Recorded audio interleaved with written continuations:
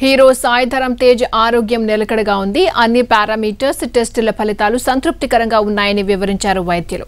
Expert డాక్టర్ల బృందం సాయిధరం తేజ్ పరిస్థితిని ఎప్పటికప్పుడు పర్యవేక్షిస్తోంది. అపోలో ఆసుపత్రిలో మెగా హీరో సాయిధరం తేజ్కు చికిత్స కొనసాగుతోంది. మూడు రోజులుగా శ్వాస తీసుకోవడంలో ఇబ్బంది పడ్డ తేజ్ ప్రస్తుతం కోలుకున్నారు. దీంతో వెంటిలేటర్ను తొలగించనున్నారు అపోలో వైద్యులు. ప్రమాదం జరిగిన తర్వాత దాదాపు ముప్పై ఆరు గంటలు పూర్తిగా పర్యవేక్షణలో ఉంచారు వైద్యులు. ఇంటర్నల్గా ఎటువంటి బ్లీడింగ్స్ లేవని అవయవాలన్నీ పూర్తి స్థాయిలో పనిచేస్తున్నట్లు నిర్ధారించారు.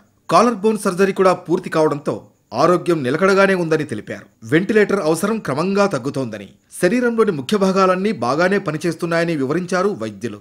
పరీక్షల నివేదికలన్నీ సానుకూలంగా వచ్చినట్లు తెలిపారు. త్వరలోనే సాయుధరం తేజ్ పూర్తిగా కోలుకుంటారని చెబుతున్నారు వైద్యులు. శుక్రవారం రాత్రి స్పోర్ట్స్ బైక్పై ప్రయాణిస్తున్న సాయి తేజ్ ప్రమాదవశాత్తు కింద పడిపోయారు.